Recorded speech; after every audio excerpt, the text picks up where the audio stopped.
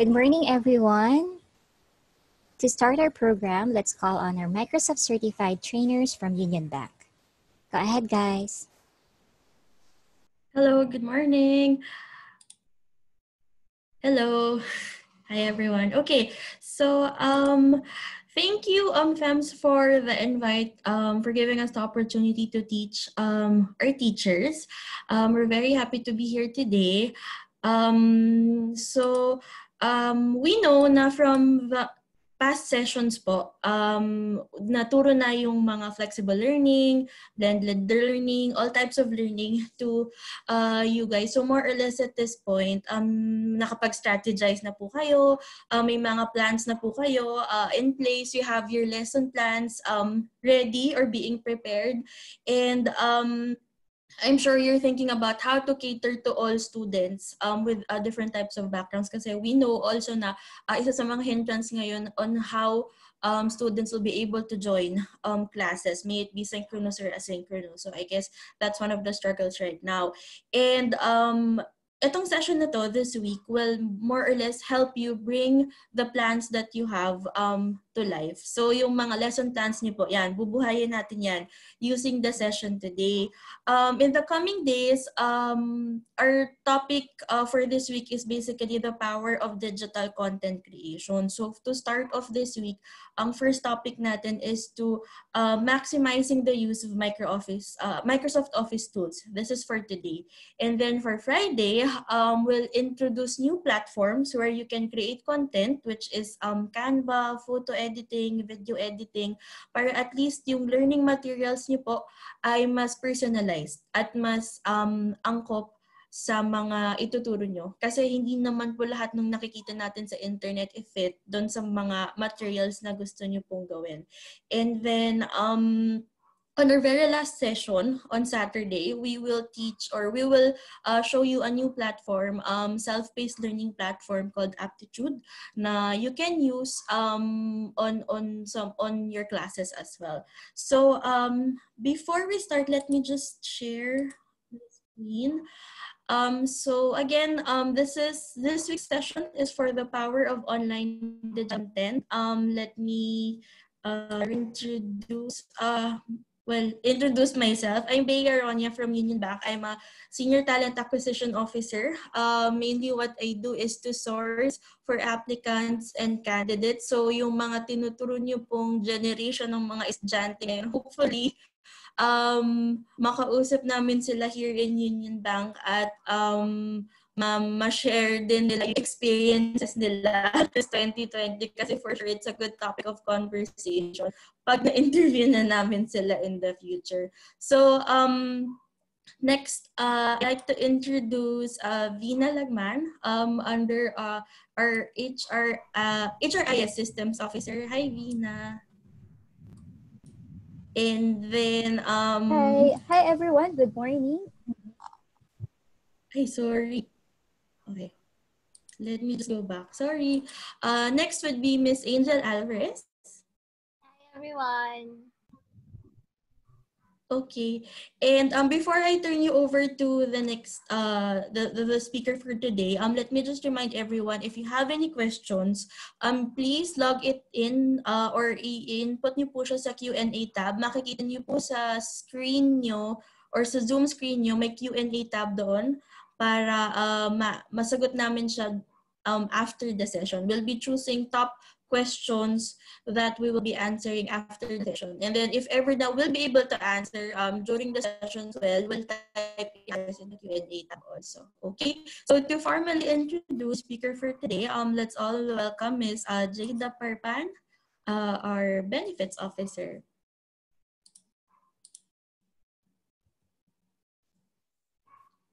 Hi, good morning, everyone. I'm Jada Parpan um, benefits officer from Human Resource Services um, from Union Bank of the Philippines. So I'm also a certified Microsoft Education Ambassador.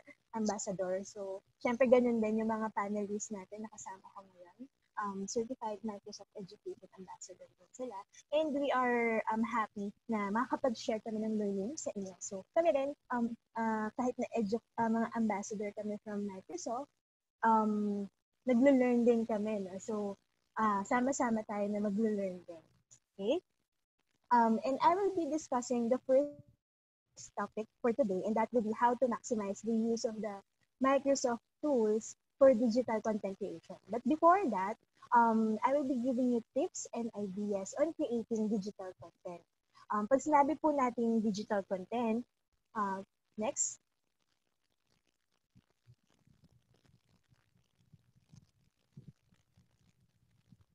ano bang ibig sabihin nitong digital content? So, we refer to any content that exists in a form of uh, digital data. So, it could be in a form of video, audio, or music, images, presentations, slideshows, um, webinars, blogs, at marami pa pong iba na ginagamitan ng technology nowadays. And for sure, very familiar na din kayo dito, lalo na sa mga tech-savvy, sa mga audience natin ngayon.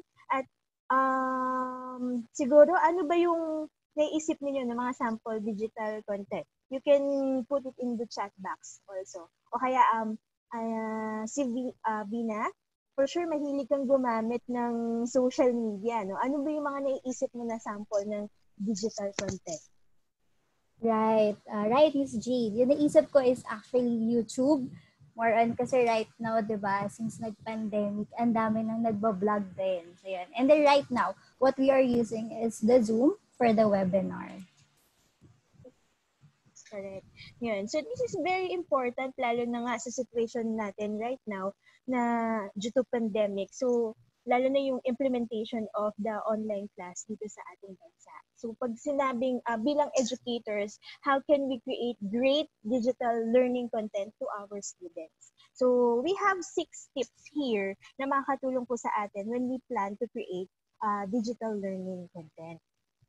So number one, um, con- contextualize learners by creating an intellectual need for information. So, ang ibig sabihin lamang po nito, when we create a learning content for our students, madalas kasi nakafocus tayo dun sa what they need to know. So, unfortunately, presenting information this way generally deprives our learners of any context of the information. So, sometimes um, they have no idea why it's important or how knowing about it makes a difference in their personal lives. So, um, it is easier for the learners to invest in what by focusing on the why. So, wag natin kalimutan kung anong konteksto ng uh, content natin. So, uh, uh, pa rin natin kung ano yung important siya ng content na yon para sa mga audience natin o sa mga students natin.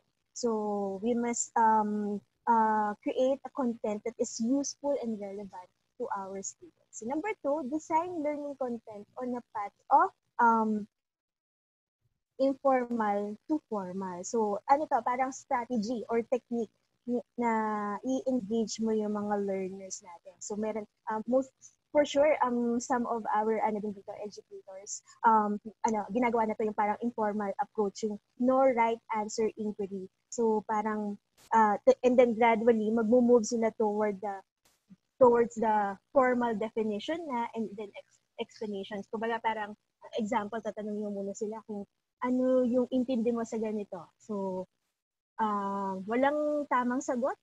Um, you just engage your students or your your uh, audience and then later on, saka ka mag-move towards sa formal. Okay? Tapos parang sasabihin mo na kung ano yung tamang definition, ano yung explanation, Ayun. So number three, maintain a constant view of the big picture. So okay lang yun na um, when we contextualize our content, um, when we present an, an activity or information, minsan chunk of information to, no? Pero we, uh, uh, we should still remember to insert the big pictures or the reminders or the reference points. So, nandoon pa rin yung konteksto, yun nga. So, dapat uh, importante in every stage of the online learning process, um, binibigyan pa rin natin ng uh, importance yung context ng digital content. Okay? Then number four, uh, digital learning content to foster collaboration and conversation. Kasi meron tayong mga learners, di ba, na-discuss naman yan in the previous webinars, yung mga asynchronous, uh, synchronous. So, meron kasi mga asynchronous, um, they work um, on their own pace when they engage with the digital content. So, sometimes, um, nakakalimutan nila makipag-collaborate or makipag-converse dun sa sa group or sa uh, sa team. So, we have to keep in mind na we have to look at ng mga opportunities na uh, pwede tayong mag-ask ng questions o mga reflections na pwede mag-stimulate ng personal inquiry and conversation. Yan. So, minsan, di ba, kahit naman noon yung traditional ano natin, learning, um, ang ginagawa natin parang uh, ini-engage pa rin natin sila na makipag-collaborate or makipag-converse.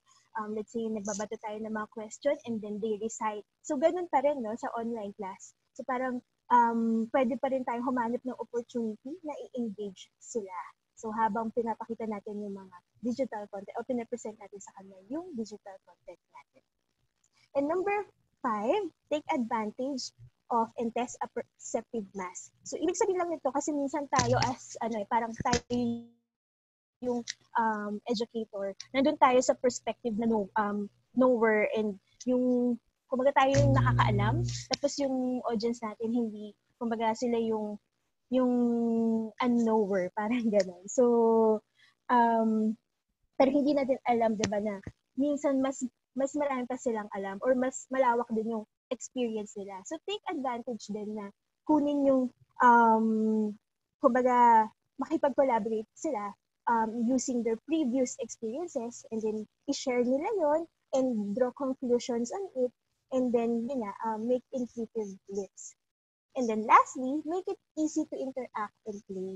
So, alam na natin yan. So, dapat uh, maging interactive pa rin kahit online ang class natin. Meron tayong ways na makipag-interact play. Also, uh, dun sa digital content natin, pwede rin natin siya maging uh, interactive yung mga digital content natin. So, bibigyan din namin kayo dyan ng tips dun, na maging interactive yung ating um, digital content. So, on the next slides, yan, and also dun sa uh, in the course of this three-day webinar for online digital content, we will help you to create digital content that will delight your students. So ito, actually pumili lang ako ng mga uh, commonly used na um, presentation ideas kapag, uh, yun nga, uh, gagawa tayo ng presentation or digital content. So, yun.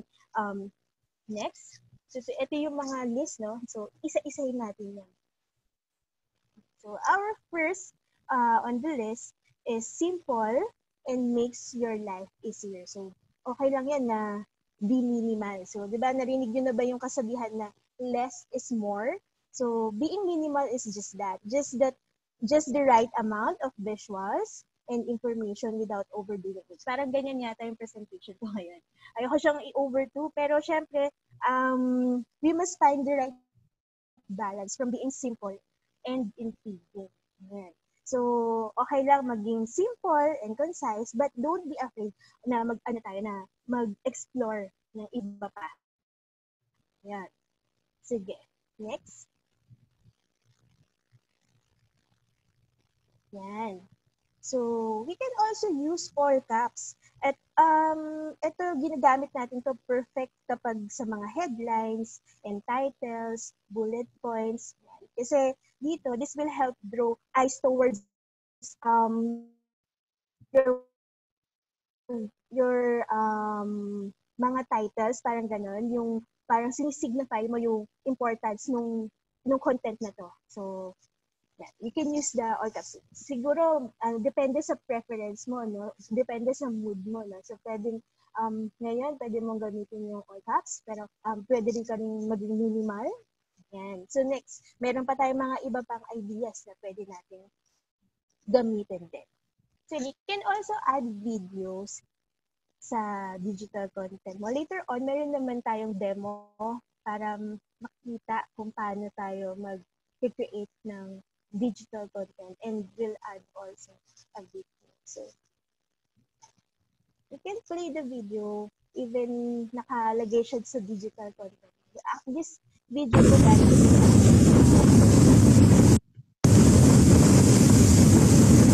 mas marami na tayo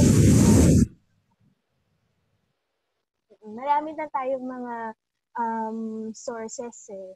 Like yun nga, um, very digital na rin tayo ngayon. Gumagamit na tayo ng technology. So, marami sa YouTube na mga um, information na pwede din natin magamit sa online class. So, pwede mo rin siyang um, maging reference dun sa digital content.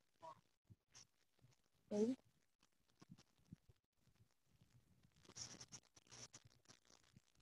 Yan. So, try doing, um, ito naman, yung pop of color. So, parang mag-choose ka lang ng isang um, color na gusto mong mag-stand out. So, pwede mong gawin lahat, black and white siya, tapos um, ipapop mo lang yung isang color dun sa digital content mo. Pero syempre, ang trick dito is to find the right balance and color.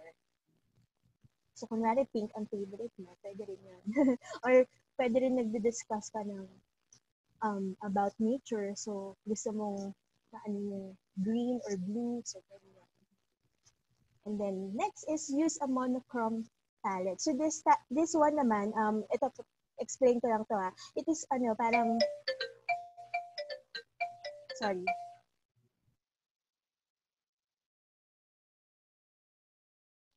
Sorry, may tumatawag. may commercial. Pero, sige, I'm gonna um, proceed na lang. So, yun. Ayan. So, meron ng commercial, may tumawag sa akin. Sorry for the interruption. Ayan. Um, yun nga, dito, makikita natin, para gumamit lang siya ng um, single hue of colors. So, sa background niya, meron siya ditong uh, um, darker na navy blue sa background. And then, yun sa front row naman, gumamit siya ng bright, strong royal blue. So, pwede tayong gumamit niya no, na parang single hue of color but with different tones and shades. Ganon. So, yan. Pero syempre, pag pipili tayo ng piliin natin itong ganitong met- method, just make sure to use pale colors in the background. Tapos, um, stronger colors sa front row or sa mga icons and text para syempre makikita pa rin yung text. Like this one, uh, example natin.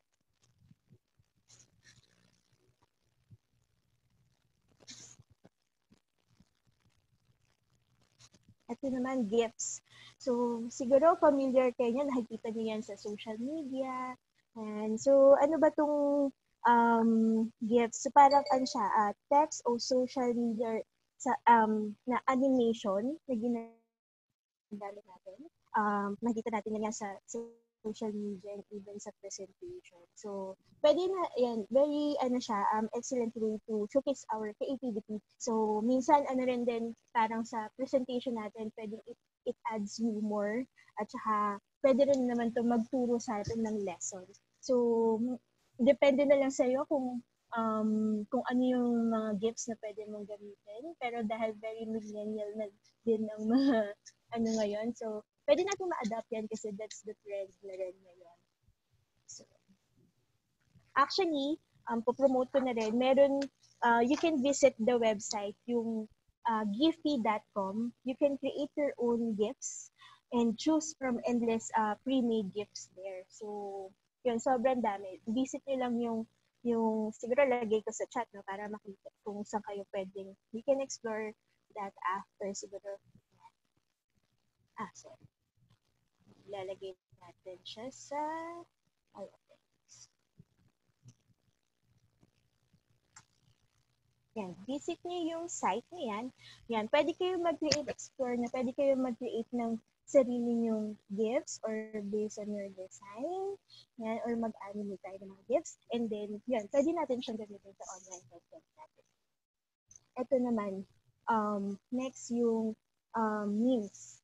Um, for sure familiar din kayo niya kasi everyday nakikita natin yan sa social media. Pero hindi lang siya basta um, um, parang um, nag, parang uh, for fun, ganyan. Pwede rin siya, yun nga, um, it can create a good smile naman in cases like in your presentation pa din.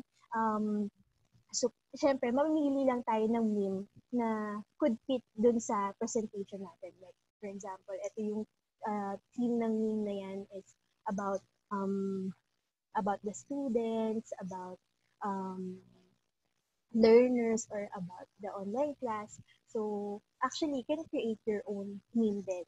So, mag magiging ano lang tayo, creative lang tayo. Next.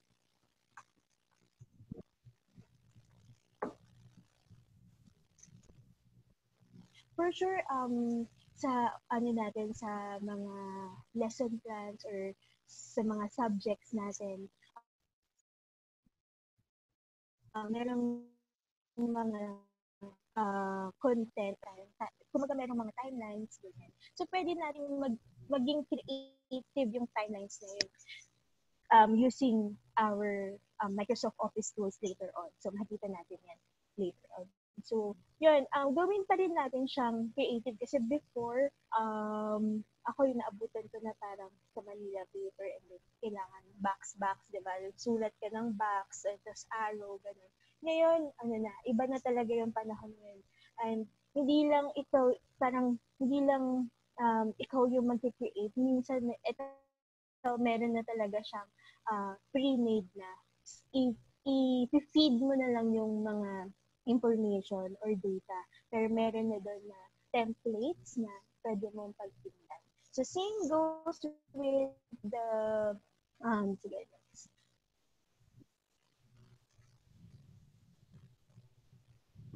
next. Yung data visualization.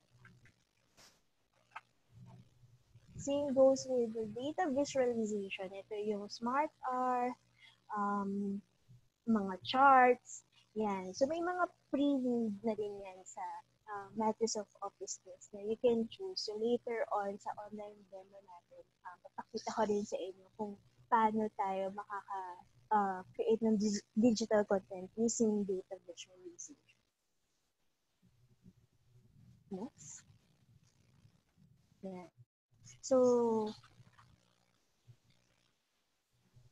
So, yan. But before, uh, before, before we proceed dun sa Microsoft Office tools, so tapos na natin, no, yun yung mga um, napili namin na commonly used na um, um, presentation, uh, creative presentation ideas na pwede nang gamitin when you create an online digital content. So now, um, we will proceed uh, dun sa creative online digital content using Microsoft Office tools. But before that, siguro um, gusto kong tanongin yung audience natin kung ano-ano ba yung mga Microsoft Office tools na ginagamit nyo right now. Ano yung mga familiar na kayo? Pero pwede pa rin natin ma-explore kahit familiar na kayo. Sige. Pwede niyong lagay sa chat box kung ano yung mga, para makita ko, mabasa ko, yung mga office tools na ginagamit nyo ngayon. Yun, si Miss Agnes Reyes, Word, PowerPoint, Excel. Very good. PowerPoint. Very useful talaga yan. PowerPoint, Word, Excel. Yan yung commonly used na ginagamit talaga natin. PowerPoint, Word, Excel. Yan. Hmm, usually, yun talaga yung, ano, may publisher. Correct.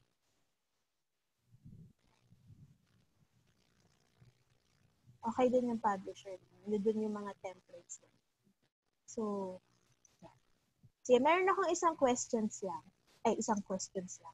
Isang question. Actually, marami siya. Eh, pero isa lang ang ibibigay ko sa inyo. Sige. Ano yung Microsoft Office that allows you to create and show slides to support a presentation. Actually, namanggit na siya doon kanina. Ano yung, ano yan, di na, alam mo ba yung sagot doon? Nag-create ng, ito yung king of slideshows. Siyempre, alam natin sa sagot Hindi ko muna i-spill, baka sumagot sila. Sumagot nga sila eh. Ayan. Microsoft PowerPoint. Yan, correct. Yan. So, Actually, yan, feeling ko very familiar na talaga kayo sa PowerPoint. Na. Pero explore pa rin natin yun later on sa online data.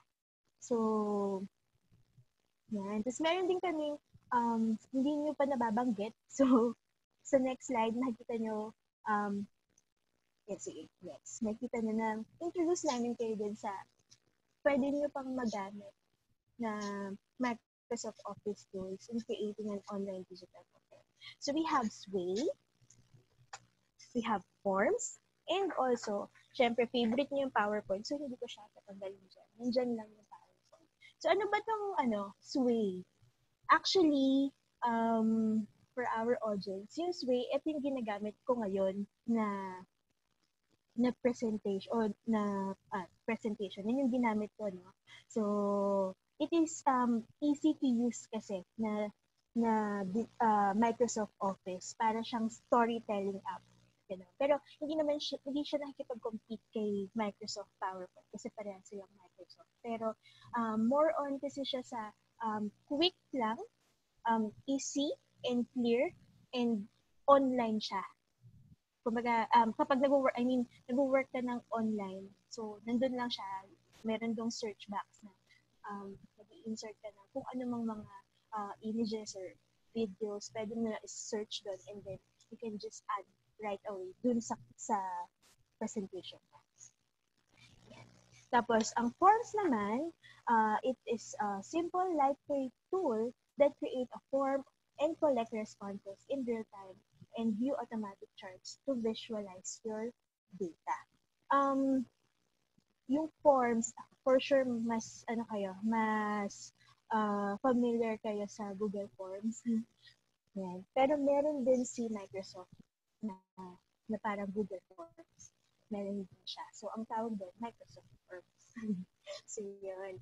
Um, later on, the-demo ko rin yan sa inyo yung how to create a survey, how to create a quiz, quizzes, ganyan. Then, of course, yung PowerPoint software package designed to create electronic presentation consists of a series of um, separate pages or slides. So, ito nga yung king of presentation ko. Sige. Let's proceed on the um, online demo. So, meron akong um, ginawang share ko lang sa inyo. Ano gusto niyong unahin natin? PowerPoint? PowerPoint. Kasi yun yung ano eh, best answer? Best answer. Ito yung alam na nila, pero it's good. Share ko lang.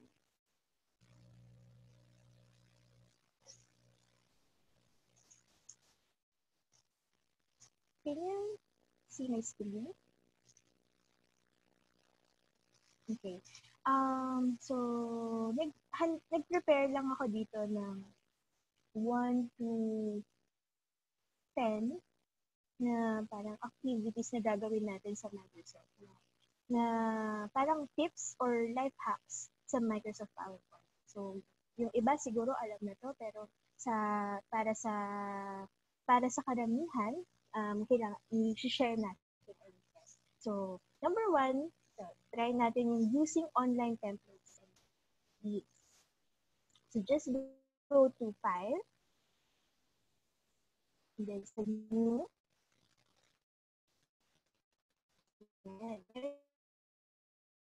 and itong online templates na feed. Mag-search lang tayo, no? Kung ano yeah, may internet is unstable. Nakakaba yun. So, yung isa sa mga stressors natin, nawawalan tayo ng internet. Pwede tayong mag-search dito, ah, ayan, education. Meron siya mga iba pang means na pwede na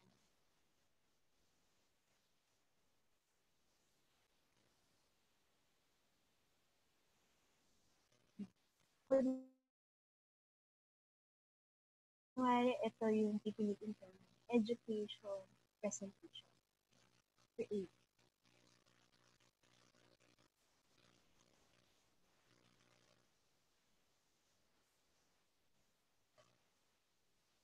So, lumabas na siya. So, makikita mo, may mga templates na dyan. Pwede mo na lang, uh, naka, ano na siya, naka-design na siya. So, may mga images na rin siya.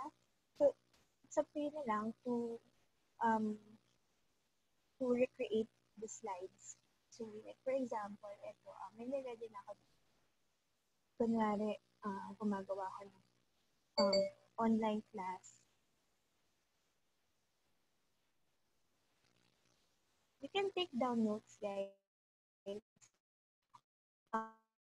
Um, kapag meron, nung nagma-Microsoft um, Education Ambassador training kami, sabi nung teacher namin, kapag meron daw kaming bago na sasabihin daw namin, amazing. So, kapag meron kayong gustong, or pag meron kayong bagong natutunan dito sa pinapresent pwede nyo sabihin sa chat na amazing. So, yeah, pwede na natin itong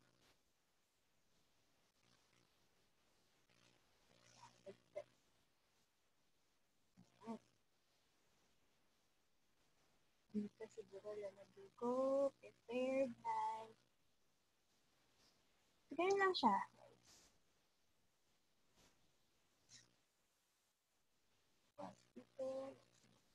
What is the class? Meron na kang pin-prepare kasi parang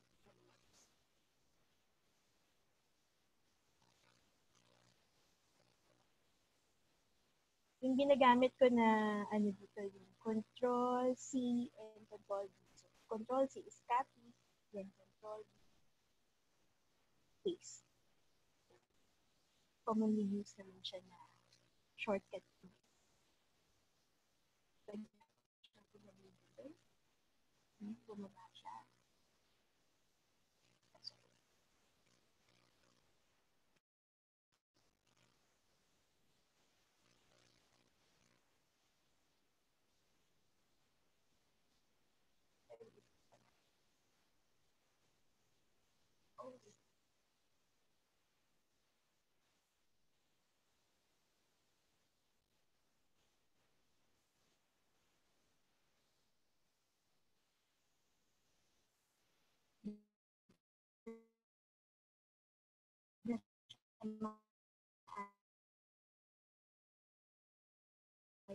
Pero nagawa ko siya nung nakaraan. Yan. Pero, um, hindi pa natin ko. Ano natin siya. So, so, tignan mo, um, ang bilis lang, basta naka-ready na yung data mo, yung, yung mga text na kailangan mong gawin. Pero meron ka ng design, may template ka na. So, kailangan mo na lang siyang i-recreate according to your needs or kung ano yung mga according to your mood, kung ano pwede. Ilalagay mo na lang siya. So, next, um, remove background. So, meron na ako dito piniling picture. Um, pwede ko na lang itong double click, then lalabas na siya dito under format, lalabas na yung background. So, yan. So, itaas mo lang yan. Ka-capture mo lahat ng mga, ng, ng, um, dun sa image na gusto mong meriting. Minsan, um, kailangan mo, may mga mark areas to keep kapag meron dito napuputol. So, yun, pwede mo i-mark lang siya. Pero this, eh, this one kasi, ano, na-capture naman lahat. And then, uh, click keep changing. So, nawala na yung background. Next, edit shapes. Yung edit shapes, um, alam natin yan, na uh, sa shapes, pwede tayo mag-create ng shape. Pero yung shapes, pwede pa pala yun ma-reshape. So, in, go to insert, then go to shapes. Pwede kayo mag-take down notes, guys. Um, pwede rin po kayong, ayun na, sabi ko, pag meron tayong bago na dito, pwede nyo sabihin lang, amazing. So, ito. So, nag-insert ako na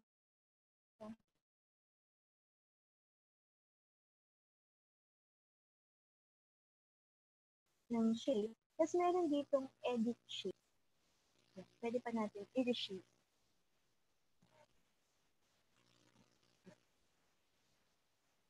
Kunyari, um, sorry. Kunyari, um, rectangle. Dito pa rin sa format yan. Edit text. Pwede na.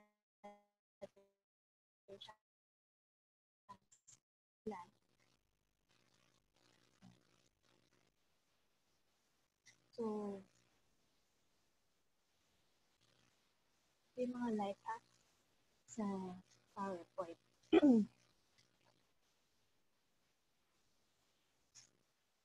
Next, yung control drag.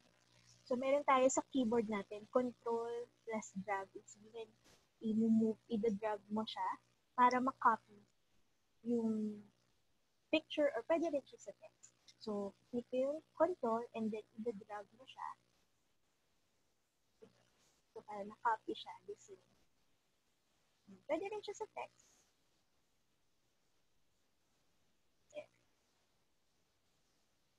um, reuse light. Pwede tayo mag-reuse light.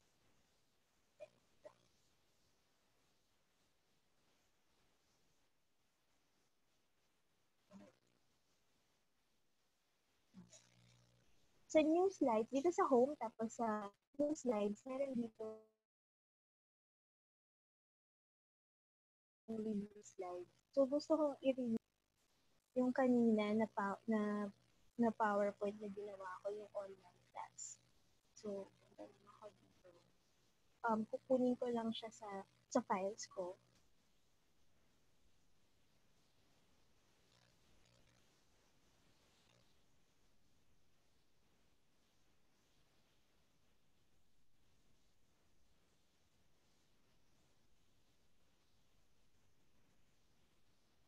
Yan.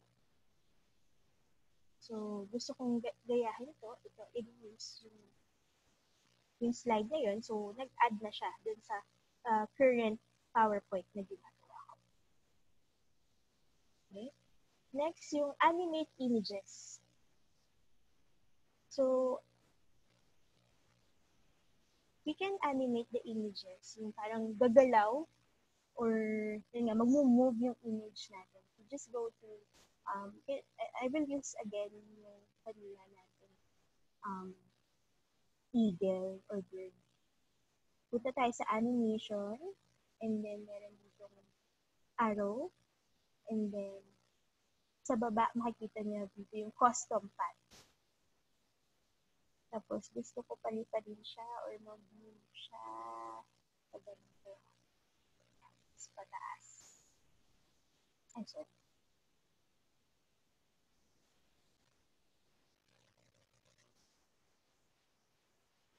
Yun, lumipad. So, move siya sa lumipad yung ating view.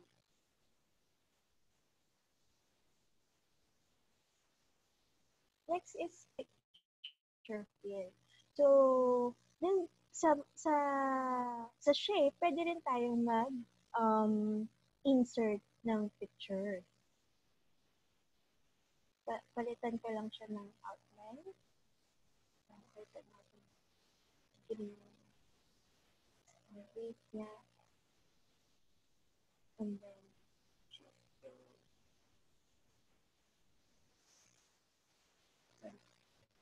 i-right click ko na lang siya kaya mas and then ay sorry kami na pindot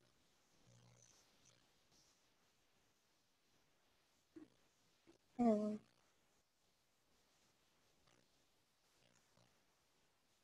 Yan. Sa fill, meron dito um, picture fill or images na pwede ka mag-insert. So, from your file, um, kunin mo lang ulit yung yung eagle para malagyan natin siya. Okay.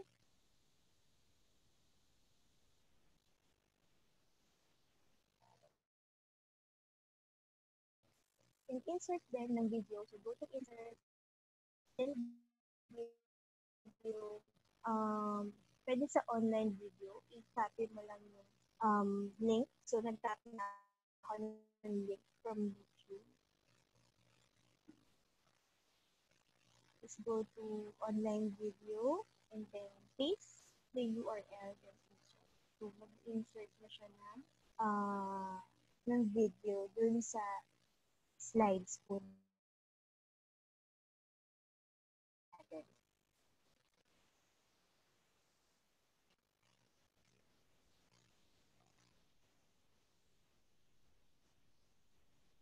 Yan.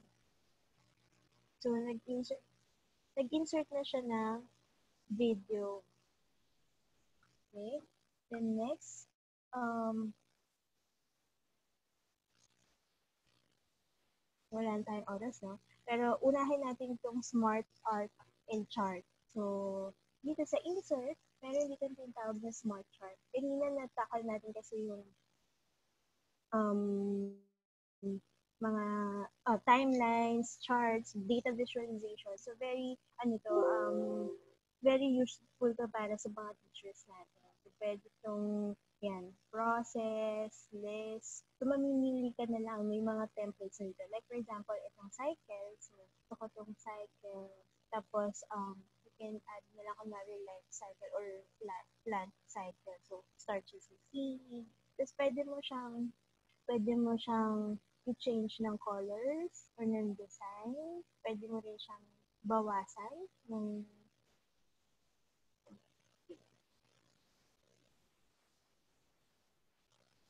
pwede mo rin siyang bawasan. Pwede mo lang apat. Pwede rin yung iba pa na smart chart. Marami pa tayong smart chart na pwedeng uh, explore. And meron din tayong mga charts na pwede na din natin gamitin. Line, type, bar, bar graph, area. So, basically, yun yung mga life hacks or tips natin using um, Microsoft uh, PowerPoint.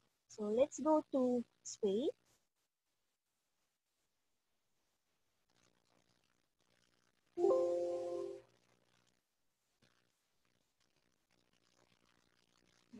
So, pumunta lang ako sa Sway. Pwede kayong, um, na, uh, free naman si Sway, no? May nagtanong kanina sa chat eh, kung free ba yung Sway. So, free naman siya. You can just um, sign in. Uh, punta kayo sa sway.office.com and then mag-sign in kayo or create an, an account. Um, your, or mag-create ka ng account niyo po sa Outlook or kung meron ka ng existing email, so sign in, um, i-sign in mo lang siya. Sa, makakapunta na po kayo dito sa Sway. So, um, itong Sway, meron siyang three parts here sa baba. So, um, actually four. Sa, dito sa taas is meron yung create new, start from a topic, and then start a document. Um, ito yung ma, yung My Sway. So, ito yung mga ginawa ko na na na sway or present na presentation. Tapos, ito yung mga templates. Ito naman yung inspired na templates. Hindi mo siya ma-edit, pero pwede kang ma-inspire dun sa mga uh, featured sway dito sa baba. So, uh, pwede tayo mag-create from scratch. Yan. Sample lang tayo na create from scratch.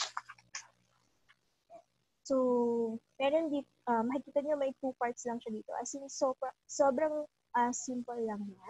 And very, yun nga, sabi ko kanina, very easy, quick, and clear lang na ang swing natin. So, meron dito part ng storyline and then design. Ito yung card. So, kung familiar tayo sa bold, um, italize, yan. So, dito sa Sisway, meron lang emphasize sa accent. So, diretso na natin siya sa um, create, no? yung actual ng pag-create. So, meron siyang card. Yung by default, meron na siyang card. So, let's say, ano, gusto kong gumawa ng um, Miss Trida, sorry po. Ma'am, we can see your screen ng Sway. Nasa PowerPoint pa rin po. Ah, sorry, sorry. Okay. Sige, ma'am. Stop.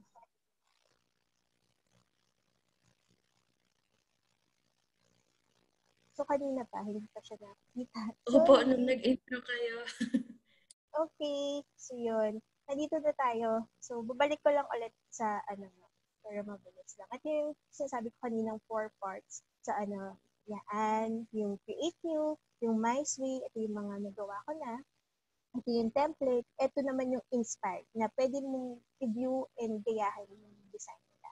So, mag-create tayo ng bagong sway.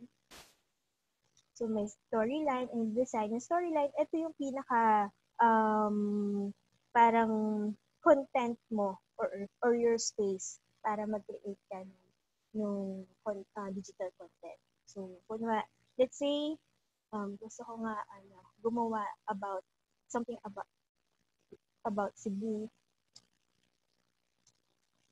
So, kasi i-feature yung Cebu. So, yan. Um, mayroon ditong insert. Um, pwede na lang tayo mag-search ng Cebu map. Mabilis lang siya.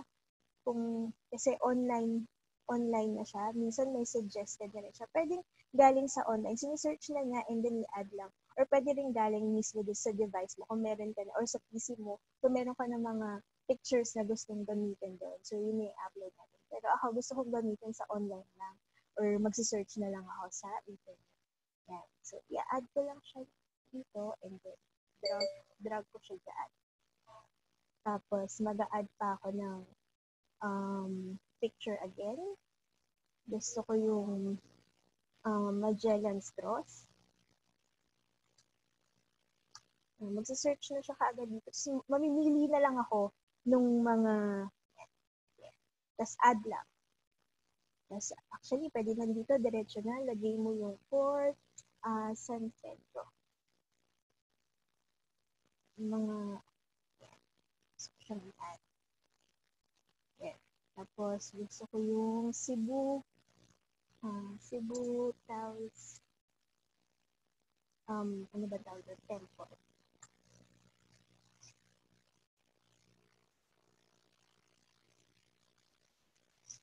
Meron natin. Damihan pa natin. Um, pe, yan, try natin yung pwede yung galing sa device.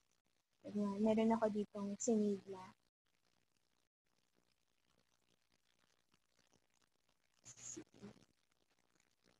and tops.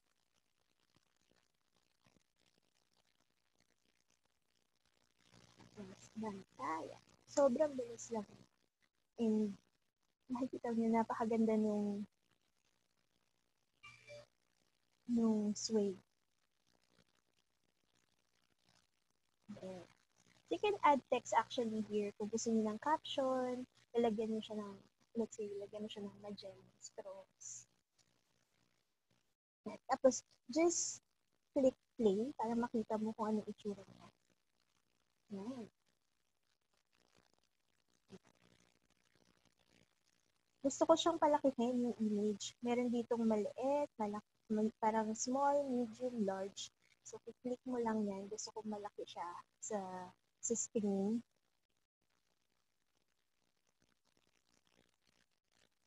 Pwede rin medium. Sige, try natin isa medium para makita natin ang tsura.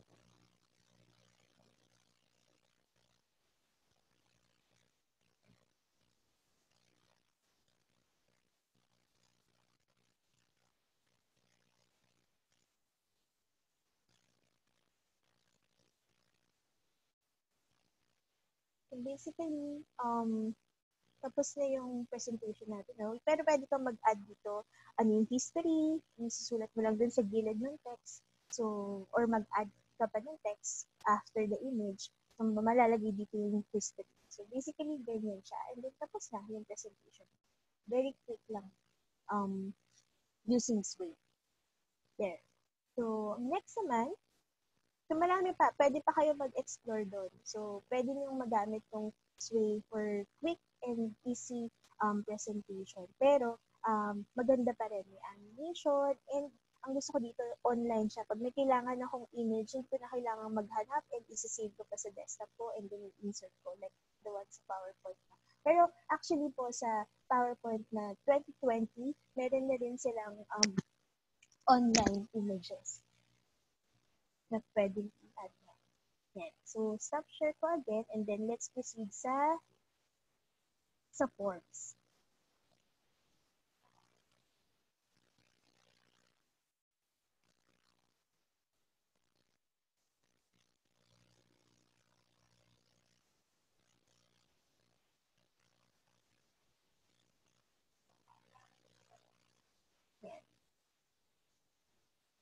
So, meron ditong, ito yung forms. Ito type mo lang siya, forms.office.com. Basta nakalagin na po kayo dun sa account po ninyo ng Microsoft, um, automatic na yan na pag makakapasok na kayo dun sa forms, um, yan, meron siyang, dito sa My Forms, um, meron dito new form or new quiz. So, pwede kayo mag-create ng survey o kaya um, quizzes using forms. So, let's say, ito, um, let's mag-create ako. So, um, ABC, QP, company, sur- customer survey form. Then, gusto ko may may cookie. So, nagsisearch lang siya. Let's say, yan ang pipiliin ko ng image. I-add ko lang siya. Then, pwede akong mag-add here kung ano yung ano, let's say rating kasi gusto ko nga um, i-rate yung cookie natin. So, yan, taste, and then pwede ka ditong maglagay ko anong level, uh, rate 1 to 5 or 10, mas okay na sa akin yung uh, rate to 5. Tapos, pwede ka rin mag-search uh, ng either number or or star. So, mas okay yung, mas gusto ko yung star. And then, meron ditong option na required siya. So, so pwede mo, syempre, gusto mo maging required yun para hindi sila pwedeng mag-submit ng responses nila nang walang naman. So, i-required. And then, click preview ganyan siya lalabas. So, pag um, pinlik nila yung survey, lalabas na yan, 5 star and then submit. Pwede ka pang mag-add pa ng uh, other questions, um, text, may mga question ka pa is lagi ko na, um, what is your favorite um, cookie flavor? Tapos pwede na lang nilang i-answer. Pwedeng longer answer. Ayan. So next, yung sa, let's go to, balik lang ulit tayo dun sa form, sa homepage. And then, quiz naman. So, anong favorite subject mo, Bea? Magkakaroon tayo ng quiz. Gusto mo ba math? Mathematics. Math lang quiz, quiz 1. Yan. Tapos, mag-a-add ka na dito. Gusto ko multiple choice. Um, guys, anong magandang question? Yan. So, meron, pwede ka maglagay dito ng, ng question. So, what is, ano naman, math to, no? Dapat algebra. Algebra.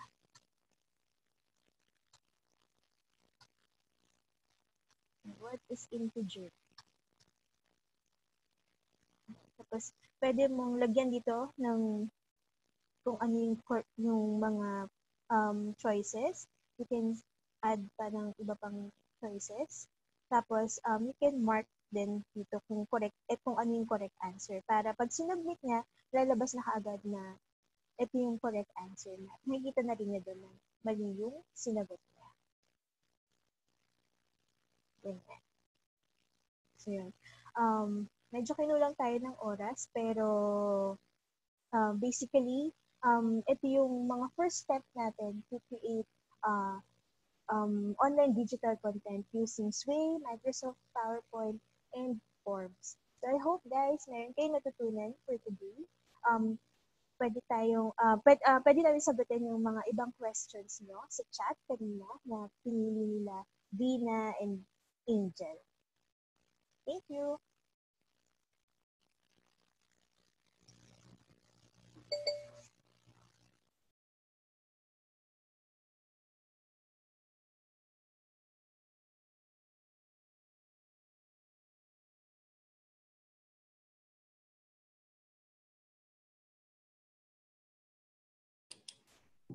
Hello.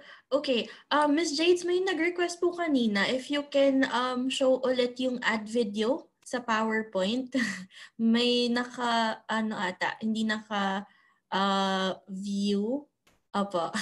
Sige, sure. Pwede natin yung balikan. Do we still have time? Kaya pa naman? Or pa, gusto pa naman nila matuto talaga? Yan. gusto So, pa. ito sa slide ng add video. So, uh, meron, di ba, mer- ito yung menu bar. So, merong pad, home, insert. So, kapag mag insert tayo ng mga images, lagi naman tayong pupunta sa insert. So, sa insert, nandiyan yung table. Gusto mag-insert ng table, insert ng pictures, smart art, shape. So, lagi tayo nasa insert. So, ganun din pag mag-add tayo ng video. So, punta ka lang sa insert and then meron dito sa under ng media, meron ditong video. So, sabi ko nga, kan, um, pin-prepare ko na kasi to. Ah, galing na ako sa YouTube. So, kinapi ko na yung link doon. Um, di ba pag nakikita mo sa YouTube, meron dong um, copy, parang share. So, pag kinlik mo yung share doon, um, lalabas yung link nung nung video na yon ng, sa YouTube. So, copy mo lang yun. Tapos, ito, ito yung um, nakikita niyo ba yung screen ko? So, hindi pala nakikita. Ayan. Sorry. So, yan. Ulit. So, insert. Tapos, ito yung video. So, ito nga, ang kina, ah, meron na akong naka-prepare na link. So, copy lang siya. Tapos, ah, sa video, pwede mong i-choose yung online video. So, ipipaste mo na lang dito yung link and then insert. Or pwede rin naman actually, um, coming from your PC or sa mismong device mo, ikaw, kukuha ng video. Kung may nakasave ka ng video. Wala kasi ako nakasave ng video. nun. Pero same process lang siya. Go to insert, video, and then yung video on my PC. So, pupunt mag-direct na yan sa um, sa desktop mo or sa sa mga folders mo. Tapos, um, puntahan mo lang yun and then uh, i-click mo siya and then insert. So, mag insert na siya dito. So, medyo mabagal kasi yung internet kasi hindi ko siya ma-play. Pero dapat nag-play siya. Yeah, nag-white na siya. Pero dapat nag-play siya. So, dun sa iba na um, mabilis yung internet, nag, uh, pwede nyo gawin yan or i-practice sa bahay. Yeah. I hope na answer ko yung or na-cover natin yung yung request na ano bumalik sa ad video. Okay?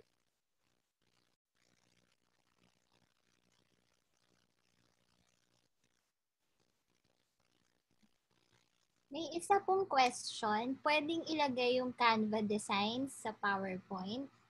Um, for this one, yes po. When you create a Canva um, picture, when you save yung picture, or actually, um, meron tayo, on our next session, um, our team will uh, have a deep dive po session on the Canva. So, mas marami po tayong matututunan. But to answer the question, yes, pwede po siya.